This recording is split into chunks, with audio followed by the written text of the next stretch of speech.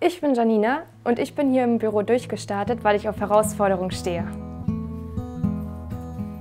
Genau diese fehlten der gebürtigen Schwerinerin während ihrer ersten Ausbildung zur Wellness-Kosmetikerin. Also hat sie sich neu orientiert.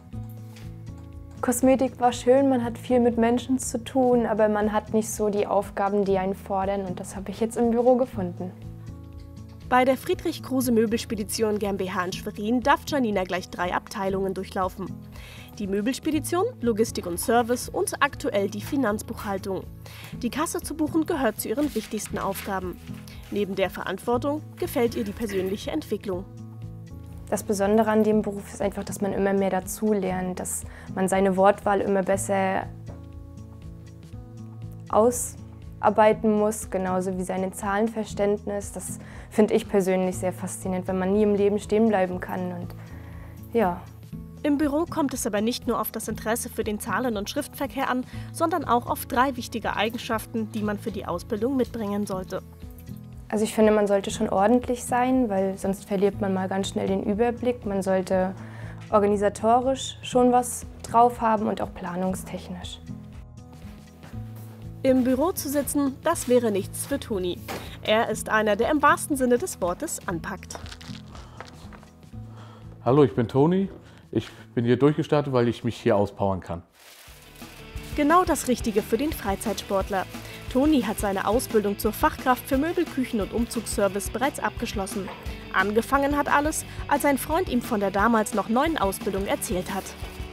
So, davon habe ich dann erfahren durch einen Freund wie es aussieht, ob das was für mich wäre und alles drum dran. Und dann habe ich mich halt mit der Firma telefonisch in Verbindung gesetzt, wie es aussieht und dann einfach eine Bewerbung geschrieben, haben sie angenommen, bin ich hin und dann haben sie halt so erzählt. Vom Bewerbungsgespräch zum echten Allrounder. Toni muss nicht nur verpacken und transportieren, sondern auch mit elektronischen Geräten umgehen können. Also jetzt gibt es einmal den normalen Umzug, so, dazu kommen dann halt äh, Montagen, die können normale Möbel sein oder halt auch nachher mit Elektrik arbeiten oder Wasser arbeiten, das heißt dann hauptsächlich Küche. Da kommt das auch häufiger vor. Dann machen wir Einlagerung, Auslagerung, auch Überseeverpackung. Das heißt, dann haben wir eine Überseeverpackung. Dort müssen wir die Möbel dann nochmal besonders gut einpacken, weil die ja dann über Wasser gehen.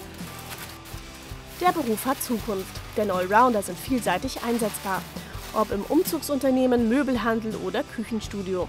Toni verrät, auf welche drei Eigenschaften es bei dem Beruf ankommt. Also einmal sage ich körperliche Fitness, das unterteilt sich aber ein bisschen einmal wegen Kondition, das wegen Treppenlauf, also das sollte man nicht unterschätzen. So, und halt auch äh, eine gewisse Kraft müssen sie schon. Also wenn sie sagen, sie mal sich nicht eigen, selbst gestemmt kriegen oder so, ist das schon ein bisschen schwierig. Also ein bisschen Kraft sollten sie mitbringen. Ja, und halt äh, Auffassungsgabe. Nicht, dass man, wenn einer Hilfe braucht und der steht nur daneben. Das ist halt, dass, dass er auch ein bisschen mitdenkt von sich aus. Die Möbelspedition bildet noch zwei weitere Berufe aus, den Fachlageristen und die Fachkraft für Lagerlogistik. Für das traditionsreiche Familienunternehmen sind Teamfähigkeit und Selbstbewusstsein Voraussetzungen für alle Bewerber. Dafür wird ihnen Folgendes geboten. Wir bieten äh, unseren Azubis einen äh, interessanten Arbeitsplatz, beispielsweise äh, eine durchschnittlich gute, für hiesige Verhältnis gute Vergütung. Äh, das ist auch ein sehr wichtiger Punkt. Weiterhin äh, Möglichkeiten, sich nach der, äh, nach der Ausbildung weiterzuentfalten, das heißt weiterzubilden und nach der Ausbildung eine Übernahme in, das, in den Betrieb. Ja, am schönsten wäre es natürlich, wenn man im Betrieb bleiben kann, weil man hat dann da gelernt, weiß dann auch schon alles. Aber ansonsten ja, hätte ich auch nichts dagegen, mal noch etwas anderes zu sehen. Ich bleibe hier. Hört sich zwar doof an, aber du bist aber hier im Osten, hast die Ostsee, alles drum und dran, das Wasser, also und halt, ich bin nicht so der große Stadtmensch, also Städte Berlin, Köln, alles runter, das wäre nichts für mich. Also für mich wäre es unvorstellbar, nicht in meiner Heimat eine Ausbildung zu machen, weil ich kenne mich hier am besten aus. Ich kenne die Straßenverbindungen. Ich ja, habe ja eigentlich gleich alles in meiner Nähe.